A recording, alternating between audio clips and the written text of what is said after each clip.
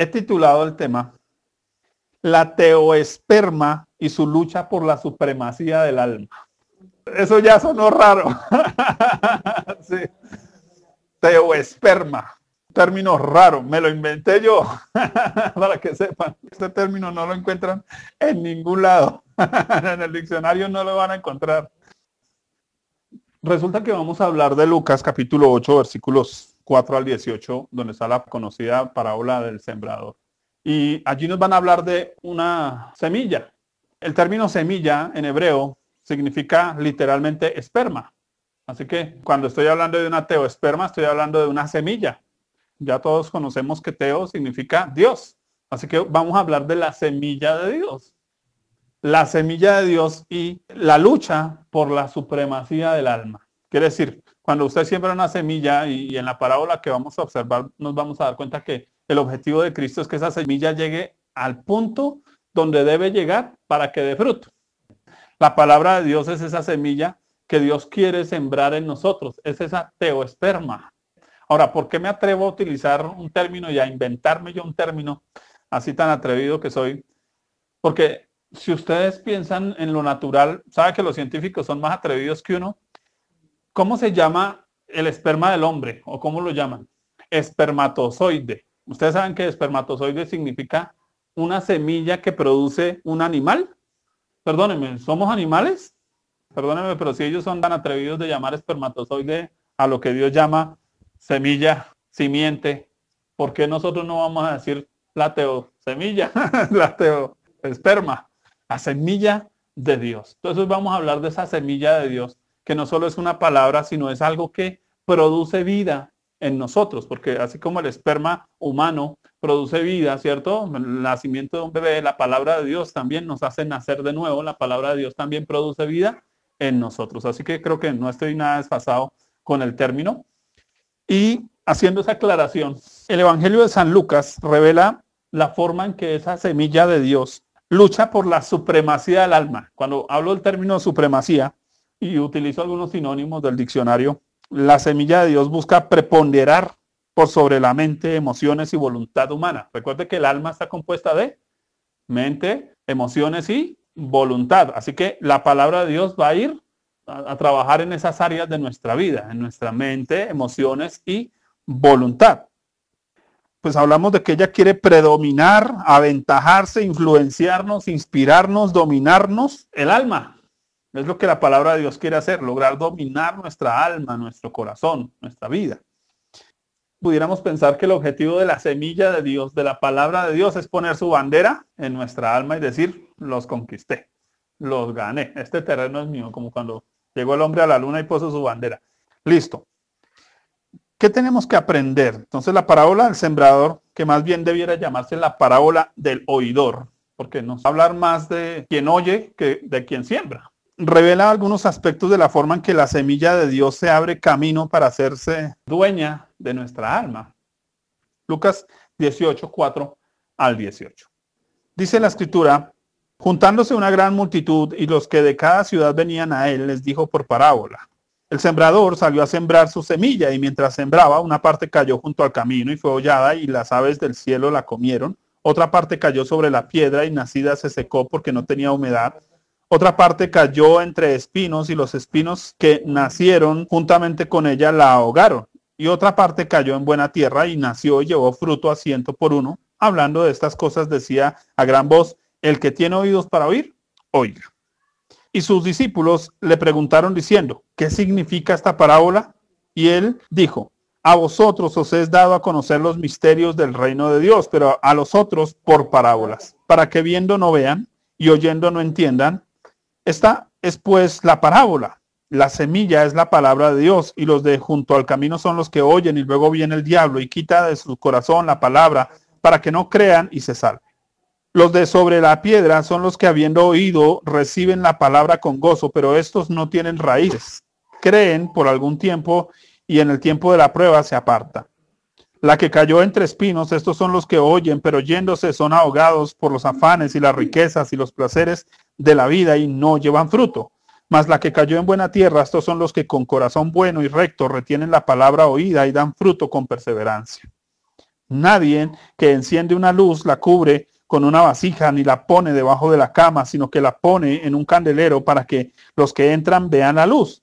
Porque nada hay oculto que no haya de ser manifestado, ni escondido que no haya de ser conocido y de salir a luz.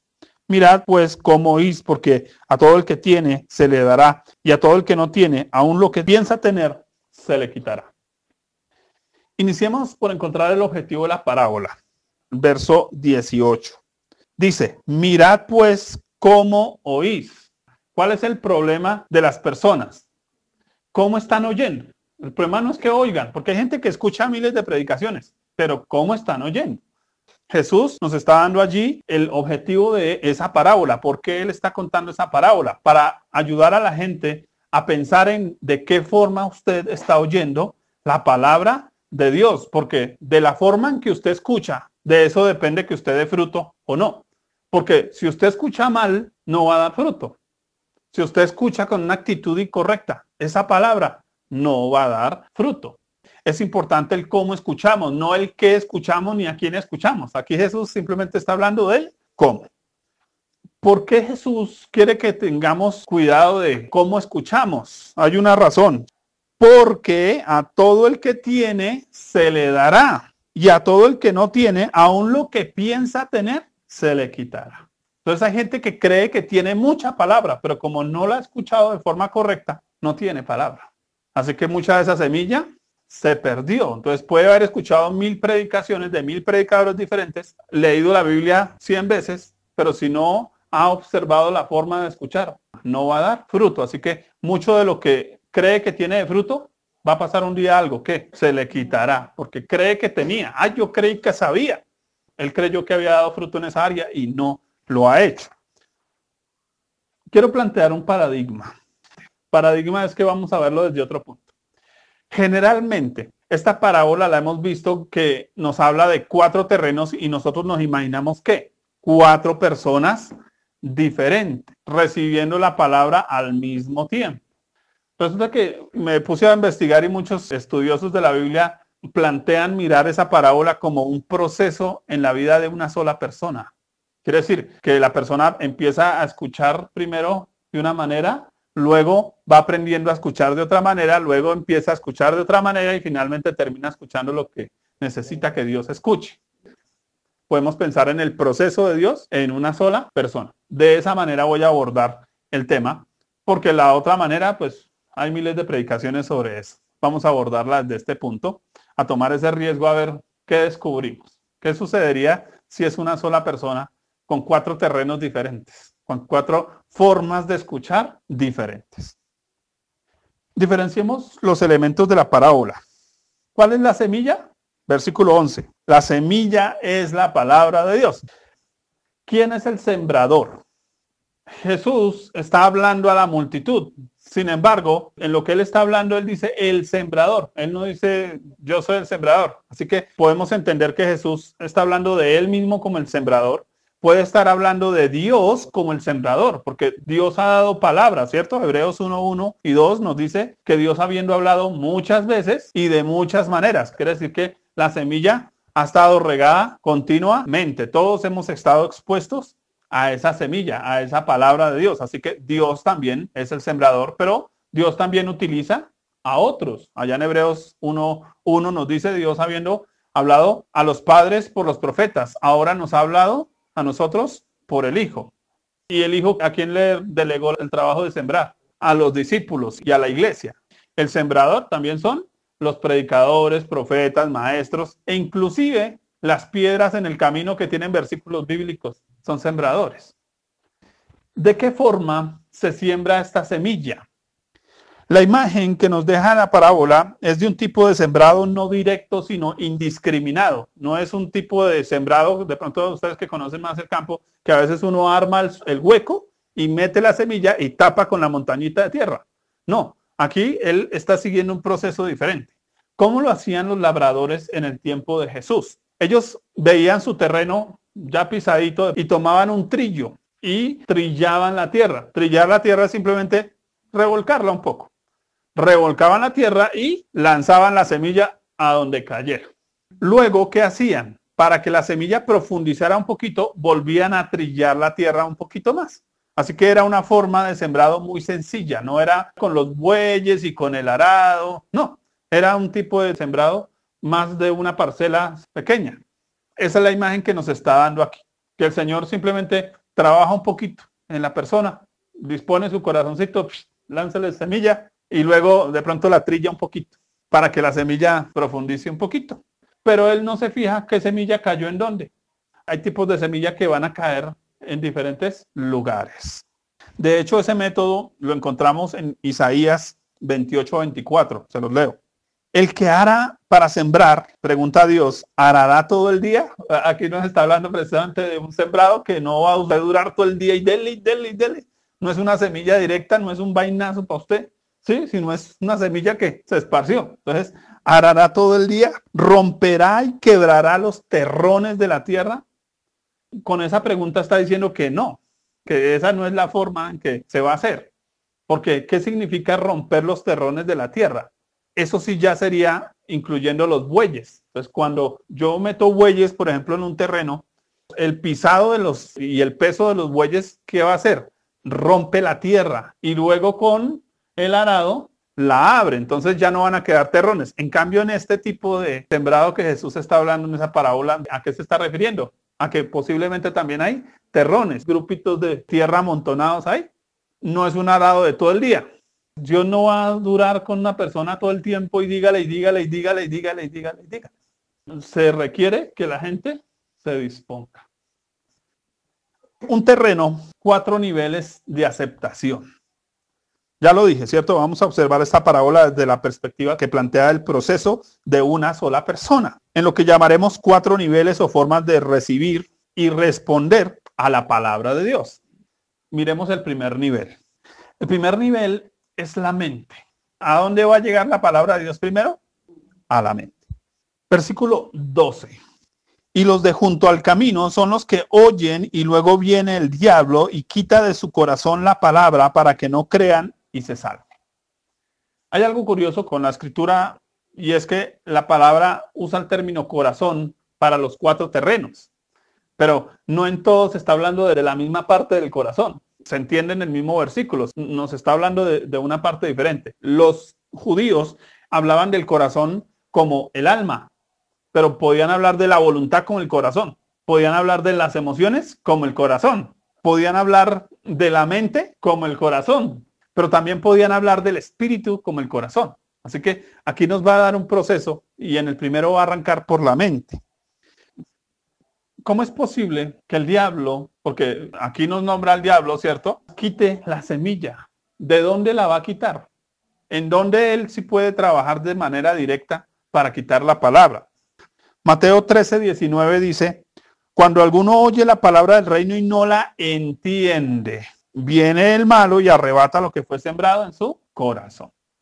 ¿Cuál es el primer nivel de la palabra de Dios? La mente. Pero ¿qué es lo que el diablo va a querer hacer? que nosotros qué? No la entendamos. ¿Por qué Él no quiere que entendamos? Hay algo clave. En el versículo 12 de Lucas dice, y se salven. El primer nivel de la palabra de Dios con una persona es para salvación. Cuando una persona se salva, cuando entiende la palabra de Dios. Pero si no la entiende, ¿se va a salvar? No, ya lo hemos estudiado, ¿cierto? En el inductivo. Mire lo que dice 2 Corintios 4, 3 al 4. Pero si nuestro evangelio está encubierto, entre los que se pierden está encubierto, o sea, los no creyentes, en los cuales el Dios de este siglo cegó el entendimiento de los incrédulos para que no les resplandezca la luz del evangelio de la gloria de Cristo. Cegar es como cuando uno abre y en la antigüedad ellos abrían pozos y dice, y fulano tal cegó el pozo. ¿Qué es que cegó el pozo? Lo tapó el diablo ha trabajado por taponar nuestra mente para que no nos penetre el Evangelio, para que no nos salvemos. Si pudiéramos pensar no solo en la salvación del alma, la salvación eterna, sino también en la salvación de problemas. Porque usted cómo va a resolver un problema si no sabe o no entiende cómo resolverlo. El creyente muchas veces vive situaciones que no debiera vivir porque no entiende cómo salir de ahí, porque no está entendiendo la palabra de Dios. ¿Cuáles son los medios que el diablo utiliza para cegar el entendimiento? utiliza falsos predicadores que adulteran la palabra de Dios. Segunda de Corintios 4.2. El segundo es, aleja el mensaje del sentido común. Cuando yo supraespiritualizo la palabra de Dios, pues tampoco voy a entender. Así que él va a buscar de que dejemos de pensar con un sentido común como seres humanos y empecemos a ser espiritualoides en la interpretación de la Biblia. Y ahí ya nos va a dar un problema. Segunda de Corintios 4.2 también. Desvía el mensaje de Dios de la persona de Dios. Un truco fácil. Él simplemente nos enseña Biblia, pero nos enseña Biblia para enseñarnos cómo ser buen papá, cómo ser buen empresario, un buen potentado, cómo ser buena mamá, buen papá, pero obvia que la persona de Cristo del mensaje. Y eso hace que la gente no entienda la palabra de Dios, porque es que la palabra de Dios de quién habla, de Cristo. Así que la gente va a entender cómo ser buen papá, cómo ser buena mamá, pero no cómo vivir en Cristo. Entonces esa semilla se pierde también en, en cierto punto llena la mente de vanidades. Efesios 4, 18. Mantiene su cabeza llena de vainas. La televisión, las películas, los libros que a veces leemos que desvían los conceptos, eh, el colegio, la universidad, la filosofía, toda esa cosa, siempre va a tratar de qué? De que el ser humano no entienda la palabra de Dios, se endurezca frente a la palabra de Dios. Promueve la ignorancia y la pereza mental. Ay, es que a mí me duele la cabeza cuando leo la Biblia. Entonces no la leo. Si no la lee menos, la entiende. ¿Cómo la va a entender si no se esfuerza? Por eso hablo de la pereza mental. El diablo no quiere que el ser humano piense. Por eso nos tiene tan dormidos con el televisor al frente, para que no pensemos. Otros piensan por nosotros. Entonces muchos de nosotros somos el resultado de lo que otros piensan. Aún en la iglesia sucede, ¿cierto? Ah, es que mi pastor dice, ¿y usted qué piensa? Usted. Piense usted por usted mismo. Tenemos un lío. No quiere pensar por sí misma. Y finalmente siembra ideas que nos hacen insensibles. Dice después de que perdieron toda sensibilidad, dice allá en Efesios 4, 19. Darnos imágenes que nos hacen insensibles. Entendemos que la palabra de Dios es el primer paso hacia una experiencia espiritual. Entonces, lo primero que nos va a llevar a una experiencia espiritual es entender la palabra. ¿Cómo llegamos al entendimiento? Porque surge la pregunta. En primer lugar, Dios debe permitirlo. Dios es el que tiene que abrir ese hueco allá, destapar ese, para que entendamos. Deuteronomio 29.3 dice, pero hasta hoy Jehová no os ha dado corazón para entender, ni ojos para ver, ni oídos para oír. Si Dios no nos hace entender, perdidos del mapa. Ahora, ¿por qué a veces Dios no nos deja entender? ¿Sabe por qué? Porque somos orgullosos. Si Dios dice, ah, mientras siga orgulloso, le sigo pisando la tierra y no lo dejo entender. ¿Quiere ser orgulloso? Venga, lo endurezco más. En Lucas 8:10 nos dice, y él dijo, a vosotros os es dado a conocer los misterios del reino, pero a los otros por parábolas para que viendo no vean y oyendo no entiendan. O sea que cuando Dios quiere que alguien no entienda, papito, así se lo expliquen con plastilina. No va a entender segundo lugar, utiliza maestros que les hagan entender. Nehemías 8:7 dice, hacían entender al pueblo la ley y el pueblo estaba atento en su lugar. Aquí hay algo clave. Dice, el pueblo estaba en su lugar. No se les olvide esa partecita. ¿Por qué? Puede ser muy bueno el maestro, pero si yo no pongo atención, si yo estoy entretenido, si yo no me quedo en el mismo sitio aprendiendo lo que necesito aprender, estoy paseando para allá para acá, pues no voy a entender nada. Pero Dios igual utiliza maestros para que podamos entender. En tercer lugar, expone a las personas de manera continua a la palabra de Dios. Dice el Salmo 119, 130. La exposición de tus palabras alumbra, hace entender a los simples. Porque mucha gente no entiende, porque no está expuesta a la palabra de Dios, porque llega a la iglesia y el pastor empieza a hablar de sí mismo, de cuántos viajes ha hecho, de cuánta plata ha conseguido, de cuántas fincas tiene de cuántos milagros ha hecho. Y no habla la palabra de Dios, no la expone. Porque no es solo que la predique, es que la exponga. Exponerla es ponerla sobre la mesa para que todo el mundo la pueda ver de manera más concreta. No es solo que lea un versículo para ver una predicación. No, no, no, es que profundice en el asunto. Entonces, ¿por qué mucha gente no entiende la palabra de Dios? Porque solo lambe la palabra de Dios. Solo lee el salmo del día y lo cierra y usted le pregunta qué salmo leyó y qué entendió no está expuesto a la palabra de Dios y por eso no entiende. Exponiendo la vida a comparaciones. ¿Qué significa? A vernos en el espejo de otros. Cuando, uy, mire lo que le pasó a fulano, yo no me meto en el hueco. mire lo que dice Proverbios 14.8. La ciencia del prudente está en entender su camino, mas la indiscreción de los necios es engaño. ¿Cuál es la ciencia del prudente? Entender su camino. Oiga, perdóneme, si usted no analiza la Biblia, al menos analice la vida. Usted quiere entender la Biblia, arranque por analizar la vida, su propia vida. Oiga, yo por qué estoy aquí, yo por qué estoy así. Eso me entrena para entender, pero a veces no analizamos ni lo que vivimos. Trabaja en madurar a nivel personal y de carácter. Esto es importante porque muchas veces una persona no entiende la palabra de Dios. Isaías 28, 9 dice, ¿a quién se enseñará la ciencia o a quién se hará entender la doctrina? Qué interesante esa pregunta. ¿A quién le hacemos entender la doctrina? ¿A los destetados? Hace la pregunta.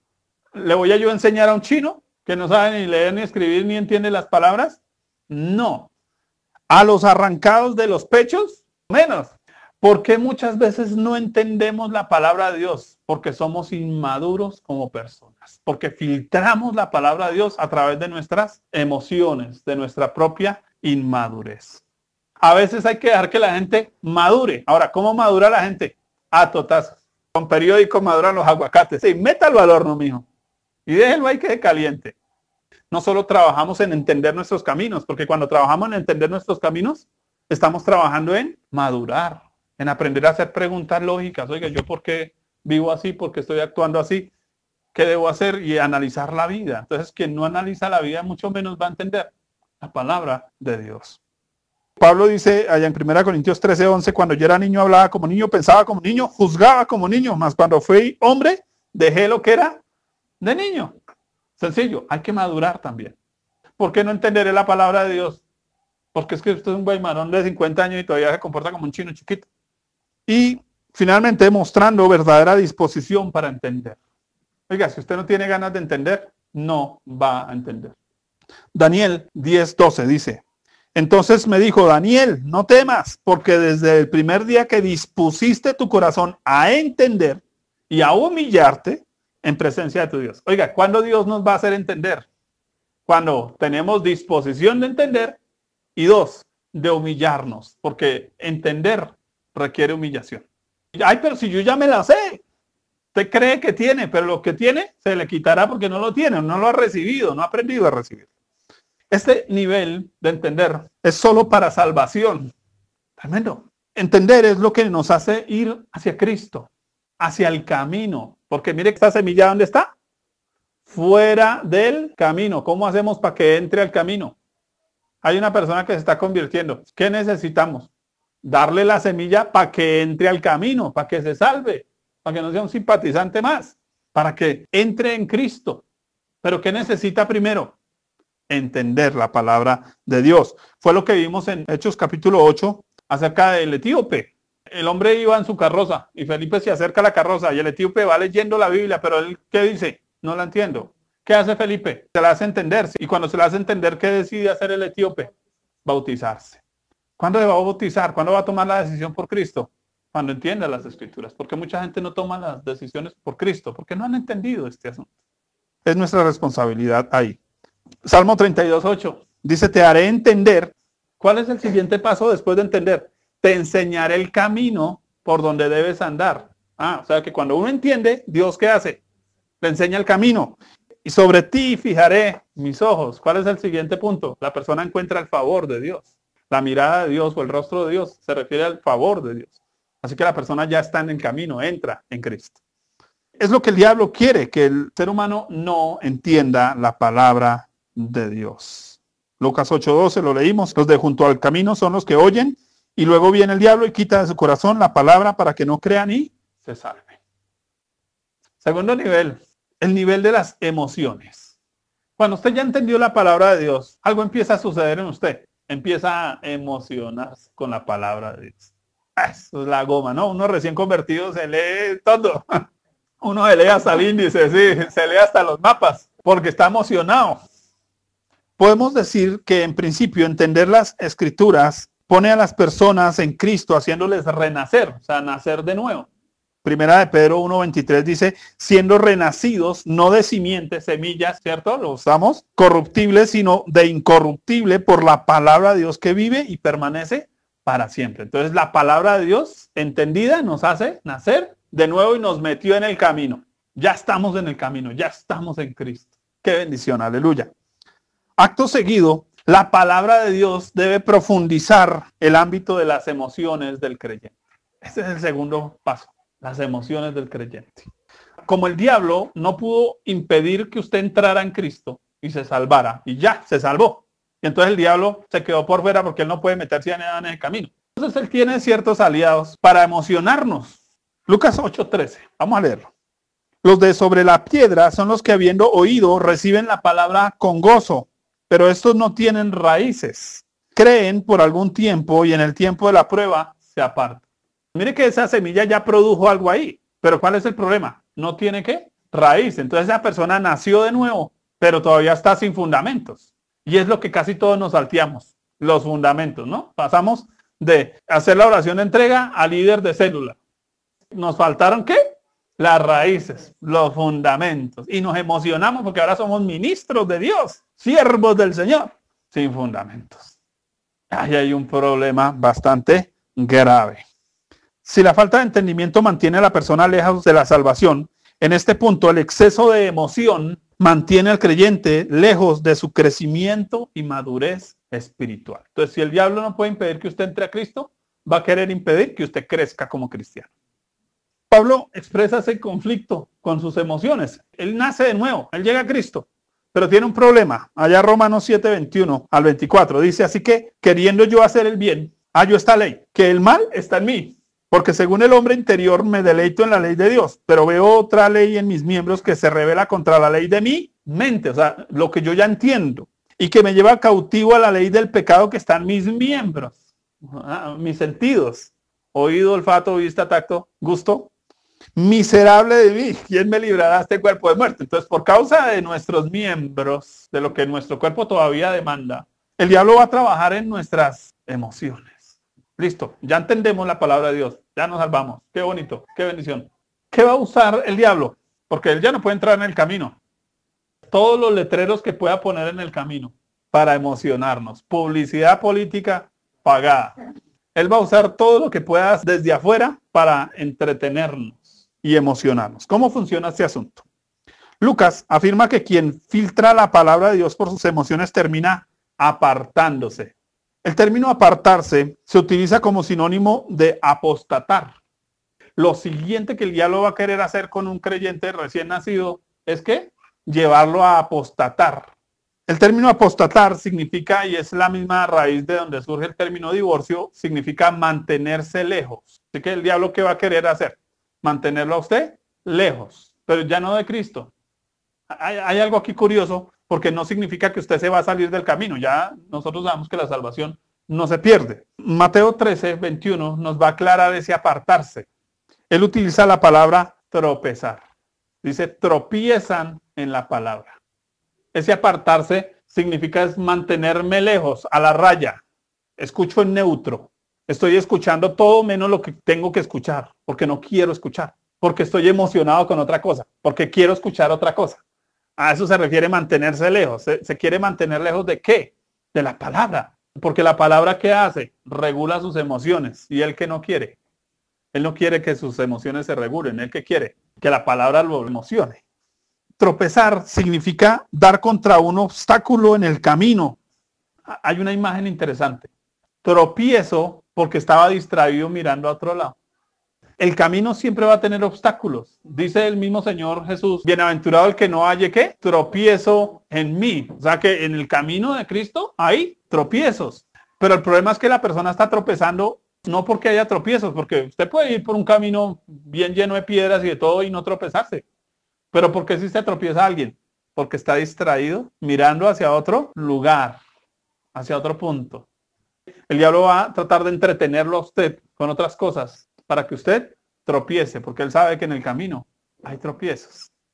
¿Cuáles son esos tropiezos o, de dónde nacen esos tropiezos? Básicamente de nuestras emociones. Segunda de Corintios 11.3. Preste la atención a esto. Pero temo que como la serpiente con su astucia engañó a Eva, vuestros sentidos sean de alguna manera extraviados de la sincera fidelidad a Cristo. Mire que aquí no está hablando de salir de Cristo. La persona ya está en Cristo. Es salir de su fidelidad hacia Él, que deje de mirarlo a Él. ¿Por qué la gente peca, según Hebreos 12? Dice, puesto los ojos en Jesús. ¿Por qué la gente peca? Porque quita su mirada de Jesús.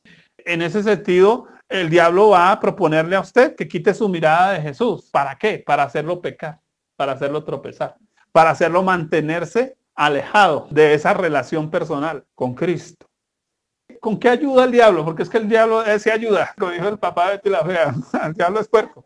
Él provee ambientes sensacionales, porque es que sus ambientes sensacionales hacen creyentes carnales. ¿Se acuerdan ya de Pablo diciéndole a los corintios qué? No les pude hablar a ustedes como a espirituales, no como a niños, como a bebecitos, tocarles todavía tetero, tetica poner en la pucheca, porque tienen un, un ambiente emocional. ¿Cuáles son esos ambientes emocionales para los creyentes? La persona se convirtió, ya entendió el Evangelio, se salvó, está en Cristo, no se va a perder. Pero entra preciso en un ministerio cristiano lleno de emoción, luces, sonido, humo, guitarras eléctricas, y eso le sube las emociones y allá le dicen y repite conmigo y declara conmigo y toda la cosa. Y eso es, wow, espectacular. Miren lo que dice Judas, versículos 17 al 19. Pero vosotros, amados, tened memoria de las palabras que antes fueron dichas por los apóstoles de nuestro Señor Jesucristo. Los que os decían, en el postrer tiempo, o sea, en este tiempito que estamos viviendo, habrá burladores que andarán según sus malvados deseos estos son los que causan divisiones, los sensuales que no tienen el espíritu. Pareciera que tienen el espíritu, que hacen descender fuego al cielo, oro, plata. ¿Por qué no tienen espíritu? Son emocionales. Le suben a la gente que es la emoción. Entonces el creyente se convierte en un creyente emocional. Entonces ese creyente oye la palabra con gozo al momento. Pero cuando viene la prueba, llore, papito, ese creyente vaya, levántelo con espátula porque se siente lo más aplastado este planeta, porque en la iglesia se siente lleno, pero fuera de la iglesia se siente vacío, con un hueco impresionante. Aquí usa una palabra interesante con respecto a este tipo de ministerios. Dice son burladores. ¿Ustedes saben qué es el burlador? En el toreo, el burlador es esa tabla donde se esconde el torero para engañar al toro. Esos son los falsos ministros, que parece que están adentro, pero están afuera lo que dice Juan 10.10, ¿cierto? Que lo hemos estudiado. Ministros que hablan de Cristo, pero no tienen a Cristo como su Señor, pero están predicando de Cristo. Son burladores. Sí son, no son. Ese es un ambiente propicio para volver a la iglesia inmadura, a los creyentes inmaduros. ¿Con qué más trabaja Satanás? Excita la curiosidad para autosatisfacer aspectos emocionales no satisfechos el diablo sabe de qué tenemos ganas. Mucho del evangelio que se predica está más centrado en las emociones del hombre que en la vida espiritual del hombre. Ahora, como él vive de manera emocional, ¿qué tipo de predicadores va a buscar? Pues emocionales. Segunda Timoteo 4, 3 al 4.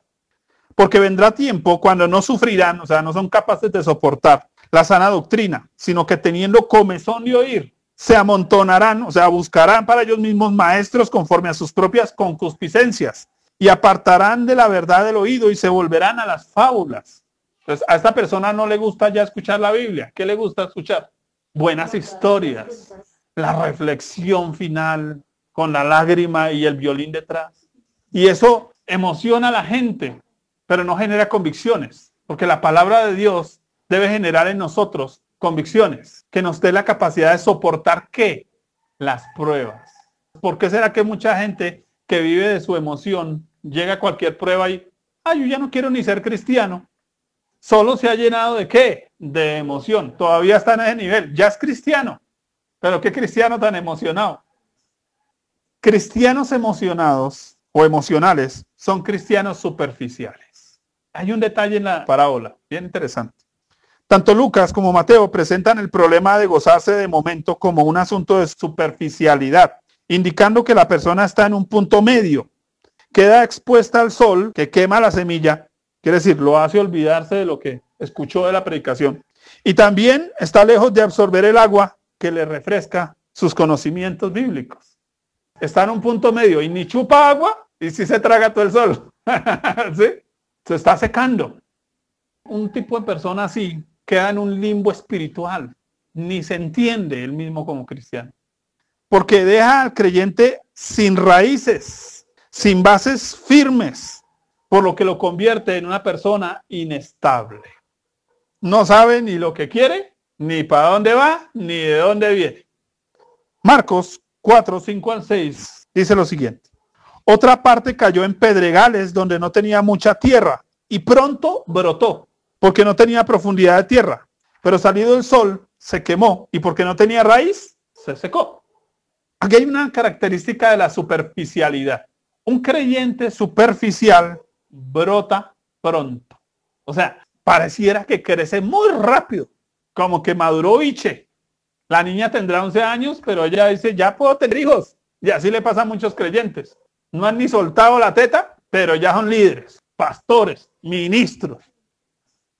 Hay algo que el diablo va a animar con las emociones del creyente. ¿Sabe qué es? El afán por lograr puestos, lugares, posiciones. Pero entonces la persona que no tiene raíces, las bases.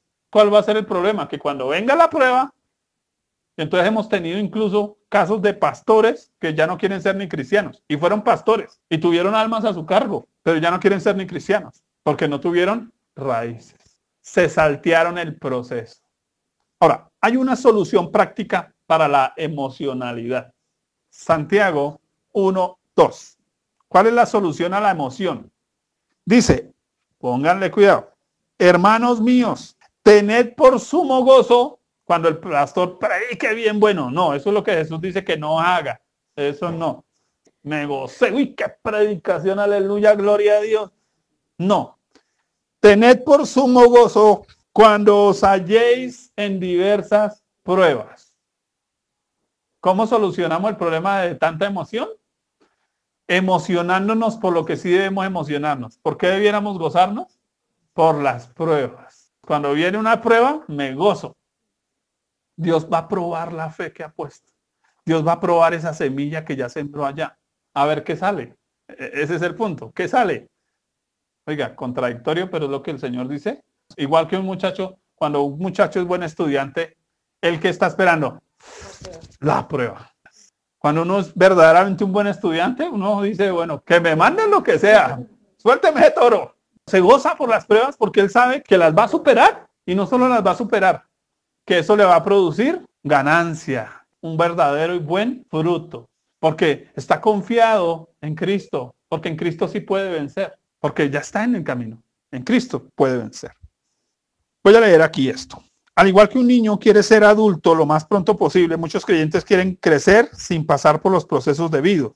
Quieren crecer rápidamente sin haber puesto los fundamentos de su fe primero. Luego sus emociones les hacen creerse grandes sin haber disfrutado de ser chicos primero. Después se queman en el ministerio para terminar lamentándose de su infructuosidad espiritual. ¿Y por qué era que no disfruto? ¿Y por qué era que sigo con el mismo carácter putefacto de hace 20 años? ¿Por qué no estoy manifestando el fruto del espíritu? Pues porque me salté los procesos. ¿Sí? Entonces soy un líder de una iglesia con un carácter putrefacto. Y el verdadero fruto que el Señor va a decir es, ¿cuántas almas ganaste? No, ¿cuánto de mi espíritu manifestaste en tu vida? Tremendo. Entonces somos ministros inmaduros, porque no hemos mirado cómo recibimos la palabra de Dios. Santiago concluye que la inconstancia es por emocionalidad, mientras que la vida espiritual fundamentada genera un tipo de exaltación que es dada únicamente por Dios. Y aquí hay algo clave. ¿Cómo crezco yo en el camino? Simplemente Dios es el que me pone donde Él quiere, no yo que llego a las carreras a donde yo quiero llegar. Entonces la persona emocional quiere llegar a las carreras, quiere pasar del saludo a la muchacha a la cama con la muchacha. Entonces quiere pasar de hacer la oración de entrega a ministro del Evangelio, sin el proceso de vida. Entonces Santiago 1, 8 al 11 dice, el hombre de doble ánimo es inconstante en todos sus caminos. El hermano que es de humilde condición gloríese en su exaltación, pero el que es rico en su humillación. Porque él pasará como la flor de la hierba, porque cuando sale el sol con calor abrasador, Está el mismo principio, ¿cierto? Llega el sol, la hierba se seca, su flor se cae, perece su hermosa apariencia. Se veía muy bonito, pero solo por fuera. Así también se marchitará el rico en todas sus empresas. En este caso, el rico es quien? Quien cree que sabe, pero no sabe. Quien cree que entiende, pero no entiende. Quien cree que está recibiendo la palabra de Dios, pero la está recibiendo solo en sus emociones. Vamos a mirar el nivel de la voluntad. Así como entender la palabra de Dios pone al individuo en el camino de la fe y gozarse en las pruebas afirma nuestro andar espiritual. Si esto falla, la tercera estrategia de Satanás va a ser la siguiente. Impedir que el creyente dé fruto para Dios. ¿Por qué? Porque cuando la persona madura en su carácter, ¿qué empieza a dar? Fruto. Cuando la persona maneja sus emociones, ¿qué empieza a dar? Cuando empieza a vivir por convicciones y ya no por emociones empieza a dar fruto. Entonces, Satanás dice, ah, bueno, ya se me metió allá, ya no lo puedo sacar. No se puede meter en el terreno, ¿cierto? Pero venga, lo emociono a ver si se detiene, si se tropieza y se queda ahí, estancado y no crece, no madura. Pero cuando ya la persona dice, no, venga, que yo tengo que pasar de mis emociones, que es que, ay, qué pereza ir al culto el domingo por la mañana. Pues, pero cuando yo ya tengo convicciones, madrugo. Cuando ya tengo convicciones, leo la Biblia, ya no es de mi emoción. Es que he sentido como desgano no, el creyente ya no siente desgano, el descreyente ya tienen que pellizcarlo y no le duele, porque ha aprendido a manejar sus emociones, vive por convicciones, vive por la palabra de Dios. Así que eso genera madurez en el creyente. Pero como el diablo ahí tampoco pudo meterse, entonces la tercera estrategia va a ser impedir que el creyente dé fruto para Dios. ¿Cuál es su táctica? Ofrecerle los reinos de este mundo. Ese no ha cambiado táctica los afanes, todo lo que este mundo ofrece. Como el diablo sabe que ya no puede entretener con emociones, lo va a hacer con un activismo religioso. ¿Qué le va a ofrecer al creyente? Actividades, fama, títulos, ocupaciones. Mantiene ocupado al creyente de algo, de su vida privada, de su relación privada con Dios, porque a veces nuestra relación se volvió solo pública. Solo leemos la Biblia para predicarla. Solo oramos en público, pero olvidamos nuestra vida privada. Lucas 8:14. Dice, la que cayó entre espinos, estos son los que oyen, pero yéndose son ahogados por los afanes y las riquezas y los placeres de la vida y no llevan frutos. Dice, oyen, pero aquí hay una palabra, yéndose. Yéndose significa dejándose arrastrar por la corriente. Recuerden para, los que han estudiado con nosotros, que estudiamos algo de profeta Ezequiel, en la visión de Ezequiel nos muestra que el río de Dios es un río quieto. Allá toca pasar nadando. En cambio, el río de este mundo son corrientes, se lo arrastra. La vida espiritual sí depende de determinaciones, decisiones. No es que Dios nos va a llevar de las narices, no, señor. Nos toca tomar decisiones. El mundo ofrece corrientes. Entonces, ese yéndose significa meterse ahí para que la corriente lo lleve. Hay una corriente dentro del mundo evangélico, ¿cierto? Porque también dentro del mundo evangélico nos hablan del éxito. Éxito religioso según quién? Según el mundo, ¿cierto? Usted también reúne multitudes, también tiene púlpitos, también tiene colores, también tiene sonidos, también tiene edificios y eso se genera una corriente que arrastra por compromiso. Uy, me invitó el de la iglesia de mil. Si el Señor me dijera que no, pero yo digo, no, porque es que, imagínese, y la ofrenda quedarán después de una predicación allá, que es peor. Imagínese ese punto. El diablo vende la idea errónea de que fruto, oiga, una de las primeras confusiones, de que fruto para Dios son horas de trabajo, números en el ministerio, grandes actividades, bellas construcciones, múltiples viajes, preciosos títulos, porque ahora los cristianos también vivimos de título, ¿no? Me dijo un pastor, oiga, ¿usted es pastor ordenado? Yo le dije, pues la verdad no sé, pero sí vivía desordenado antes. Ahorita sí, ordenado sí, bendito sea el Señor. Pero depende, ¿me ordenó quién? ¿Otro hombre? ¿Y ese hombre quién lo ordenó? Porque si está viviendo en desorden, no creo que me ordene tampoco mucho. Vivimos ahora de los títulos, vivimos de los reconocimientos, de las estrellas. Eso es lo que Satanás hace ya no trabaja con sus emociones porque ya no puede. Ahora simplemente lo ocupa con cosas de este mundo. Él le abre el camino. un camino ancho. Él le dice, mire, entonces, ¿sabe qué? Démole. El creyente entra eh, eh, en una aparente apertura, pero esa apertura es más peligrosa. Alguien decía, es más peligrosa la riqueza que la pobreza, porque usted pobre al menos ora por la comida, para que Dios le dé con plata. Ya ni se acuerda de decirle al Señor gracias. Satanás también puede trabajar en, venga, les doy, les abro espacio en la política, venga, los invitamos al noticiero, venga, los invitamos y entonces los ministros, los creyentes empiezan a qué? A transigir sus convicciones. Ahora son famosos, entonces viven más del aplauso y entonces, mire, uno abre un canal en YouTube y yo me acuerdo los primeros días me pasó, está uno con la goma de cuántos se suscribieron, cuántos llegaron, cuántos likes, cuántas manitas arriba. Oiga, se lo come a uno el mundo. Y eso que uno es un pelagato todavía. Es una corriente que arrastra. Y está en la iglesia, obviamente. Sí, claro. En este pensamiento entra la comparación con otros, la adquisición de metas ajenas, el involucramiento en un sinnúmero de actividades que son supuestamente para Dios. Cree que hacer cosas dentro de la iglesia es estar haciendo la voluntad de Dios y no necesariamente. Uno puede tener una iglesia de mil miembros y si Dios no le mandó a abrirla, pues uno va a llegar al cielo y Dios le va a decir, ¿y usted por qué abrió iglesia para mil miembros y yo lo quería misionero en el África?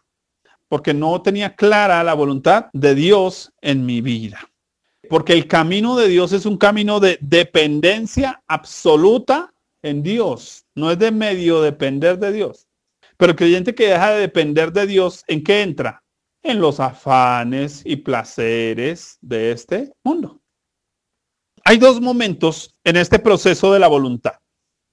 En el texto se mencionan dos palabras que denotan esos dos momentos, yéndose y ahogándose. Satanás sabe que no puede sacar al creyente del camino, entonces le ofrece más bien hacer las cosas a su manera, porque ese no améis al mundo no es que uno no vea televisión, no vaya a cine, no se coma un helado con la esposa en un parque, no juegue un parqués, porque esa es la idea que Satanás nos vende, que eso es pecado. No, no, no, no. ¿Cuál es el problema? Cuando hablamos del mundo, es que le damos prioridad a nuestros deseos, a nuestras pasiones. Le damos prioridad a nuestras malas intenciones, a nuestros malos motivos Dice que algunos predican el Evangelio por contienda, por vanagloria. ¿Qué es eso? Mundo. Eso no es otra cosa sino mundo. Pero estamos predicando, aleluya, gloria a Dios. Y se ganaron mil almas. Sí, pero por contienda y por vanagloria. Y entonces hay un problema bastante grave, ¿cierto? Que se está haciendo para todos menos. Y entonces me acuerdo en mi caso, por ejemplo, en la primera iglesia que arranqué, tocaba pasar los reportes y yo me acuerdo que yo llenaba esos reportes con mentiras. ¿Cómo se llama la mascota? No, Carlitos. Ah, bueno, entonces llegó el hermano Carlitos. Porque si yo necesitaba poner un buen reporte de que vinieron tantos asistentes y me ofrendió una galleta de perro.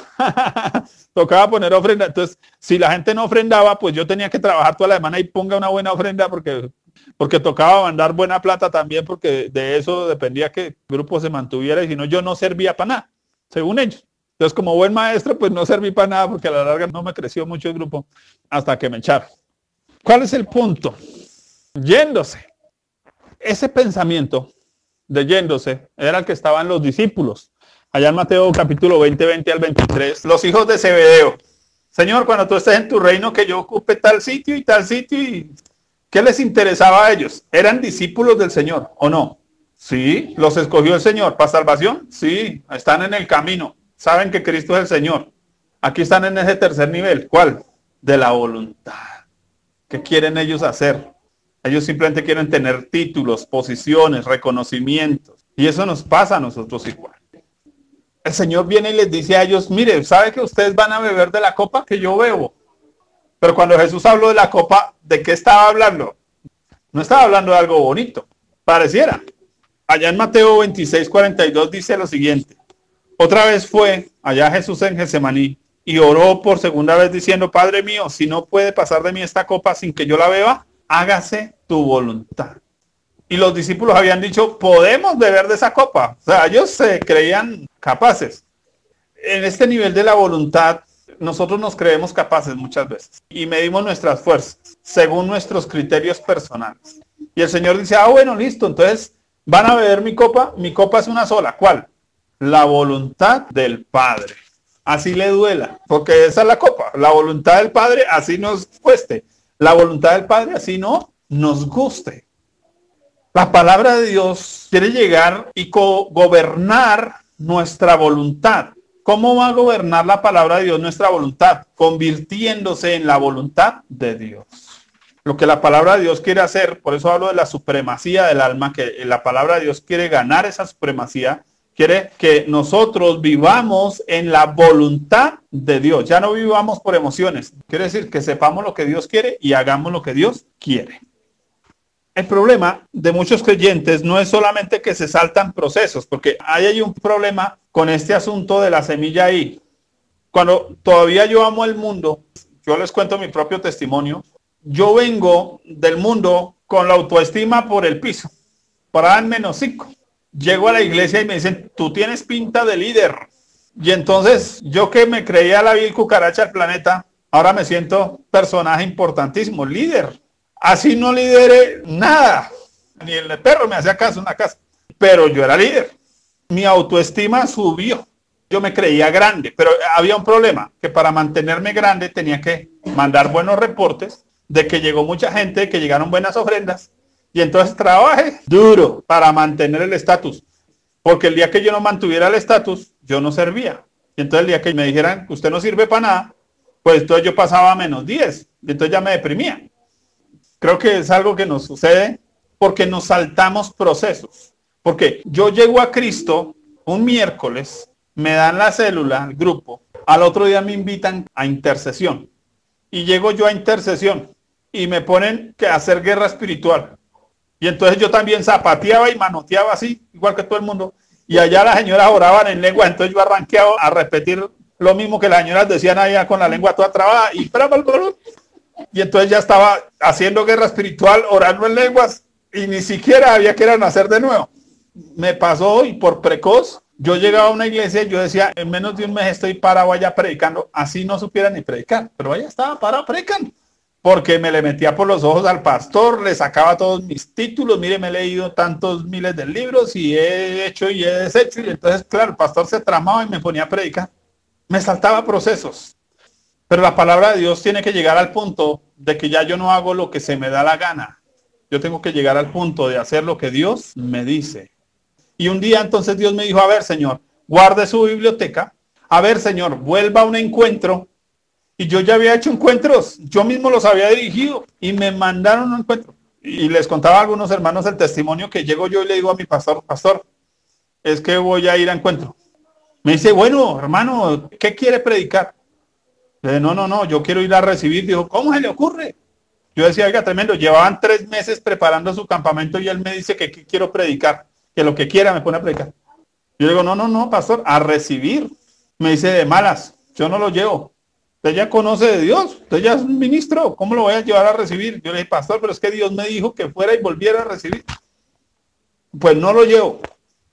Mire, hagamos una cosa, dijo el pastor. Si antes de salir de este edificio porque tiene la plata, le dije, no, no tengo la plata. Dijo, pues si antes de salir de este edificio tiene la plata, lo llevo.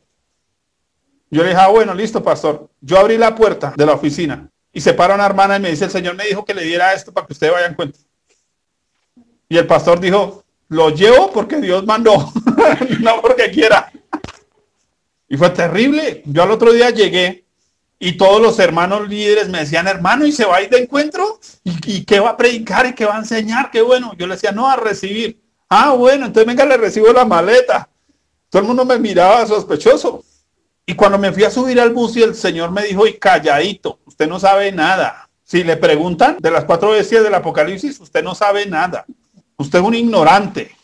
Yo decía, Dios, eso es muy duro. Que yo me senté, se sentó un hermanito al lado, empezó a hermano, y usted es un maestro, mire, ¿por qué no me enseña tal cosa? Yo, no, hermano, ni idea, no sé.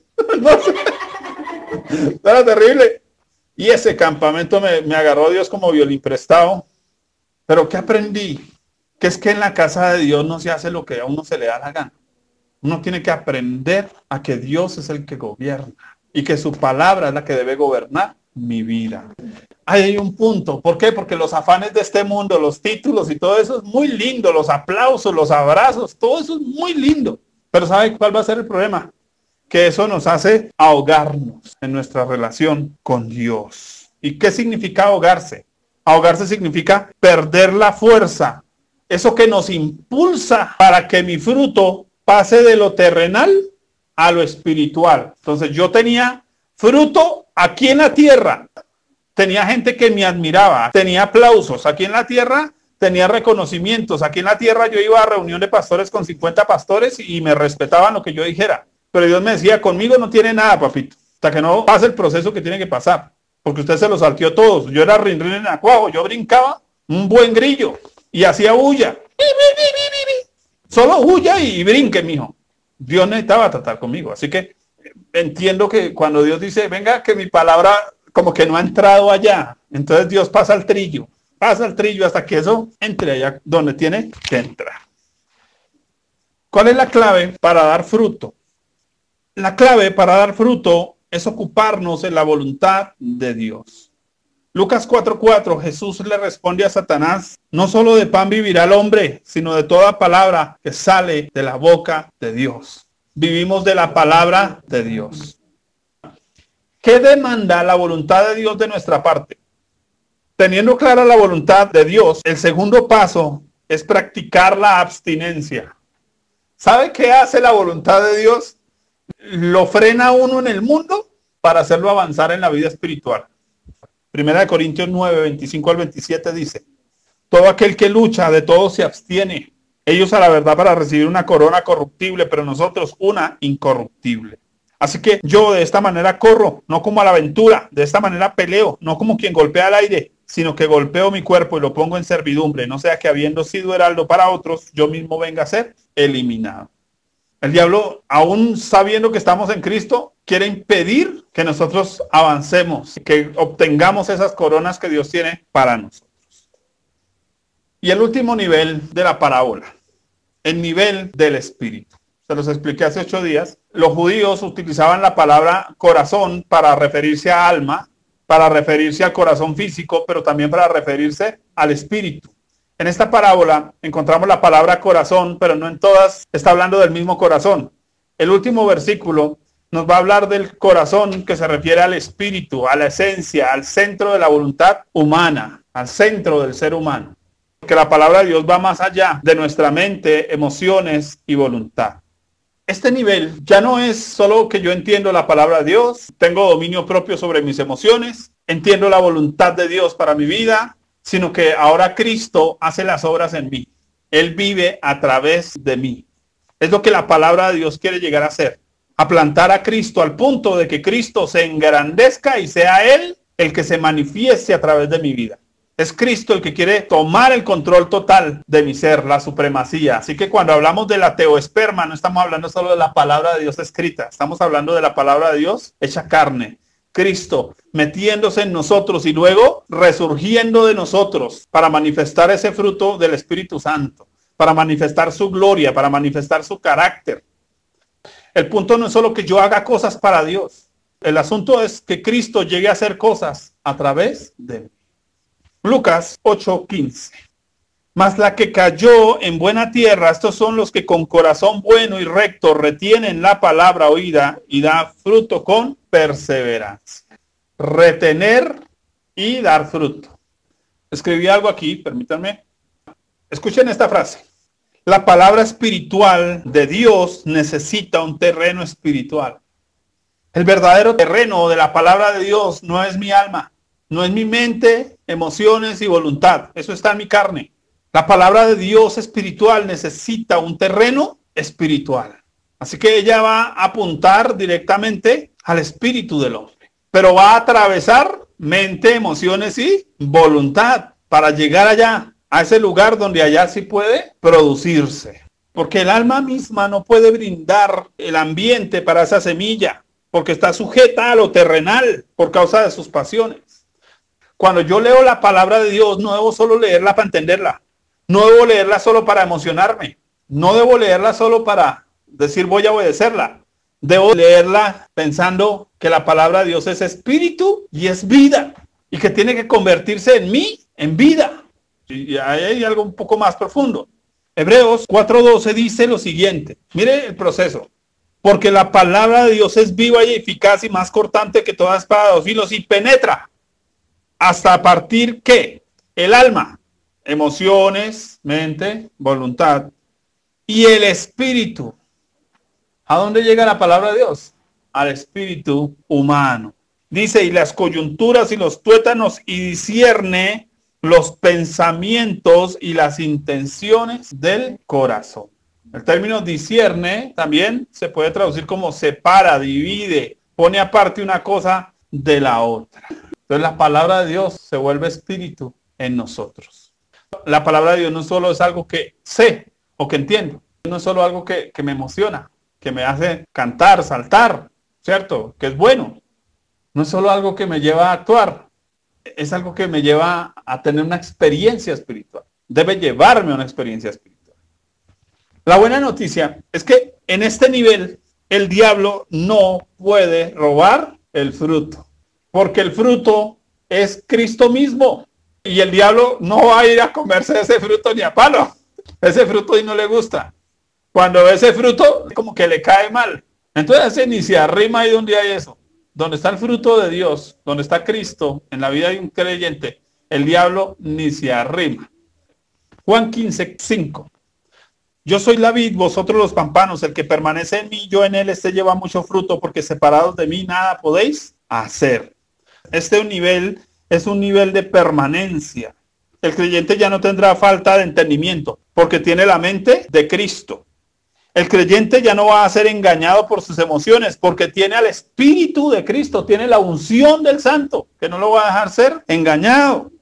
Y el creyente ya no será atraído por los ofrecimientos del mundo porque para él el vivir es Cristo y el morir ganancia. Él ya toma a copa con confianza, ¿cierto? La voluntad de Dios. Pero en este nivel el creyente dice, ya no vivo yo, sino Cristo en mí. Oiga, eso es lo que la palabra de Dios quiere hacer. Cristo quiere decir, yo ahora vivo a través de ti. Quiero terminar con los últimos versículos. Lucas 8, 16 al 18. Dice, nadie enciende una luz y la cubre con una vasija ni la pone debajo de la cama, sino que la pone en un candelero para que los que entran vean la luz.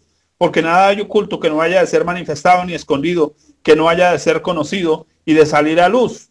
Mirad pues cómo es, porque todo, a, todo el que tiene se le dará ya a todo el que no tiene aún lo que piensa tener, se le quitará. Porque esos versículos hacen parte de ese, y, creo que es un punto bien importante. Porque igual que una luz no se cubre con una vasija, pues se apaga, la palabra de Dios no debe ser colocada en lugares indebidos. La palabra de Dios no es solo para hacerme más inteligente, ¿cierto? Para tener un cerebro más grande, para ser más hábil mentalmente. No, no, no. Ese no es el lugar para la palabra de Dios. Nos ayuda a nacer de nuevo, pero ese no es el lugar para la palabra de Dios. El lugar para la palabra de Dios no son nuestras emociones. Ay, no es para que el versículo del día me levante el ánimo. Sí, claro, lo hace, pero ese no es solo para eso. La palabra de Dios no es solo para que yo haga cosas para Dios. Sí, claro, qué bueno que cumplo la voluntad de Dios, que trabajo en ella. La palabra de Dios debe ser colocada en el lugar correcto, en mi espíritu.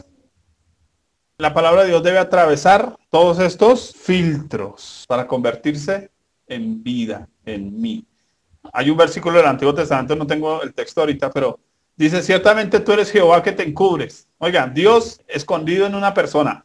Eso es el creyente, es Cristo escondido en personas. Dios escondido en personas. Él no se va a esconder y quedarse ahí, no, Él va a crecer, Él va a engrandecerse. Y es lo que queremos, que Cristo se engrandezca en nuestra vida. ¿Recuerda el objetivo de esta parábola? El objetivo de esta parábola es cómo oímos. ¿Por qué es importante? Porque a todo el que tiene se le dará y a todo el que no tiene, aún lo que piensa tener, se le quitará. Oiga, a uno se le olvida la Biblia se le quita de la mente a veces también, ¿cierto? A veces no entendí lo que leí. se emociona con la palabra el domingo y a los ocho días estoy aburrido. Se le fue las emociones también. A uno de la voluntad, hoy sí la obedezco, mañana vaya, sí, sí la obedezco, ¿cierto? Se quita de esos terrenos. Pero la que está sembrada en el espíritu, esa no la quita nadie. Esa quedó allá resguardada. Por eso él dice, para que todo aquel que tiene, se le dará. Si usted aprende a colocar la palabra de Dios en el lugar correcto, esa palabra no le va a ser quitada jamás. Y eso es lo que llamamos nosotros y nos enseñaban, ¿cierto? La diferencia entre logos y rema.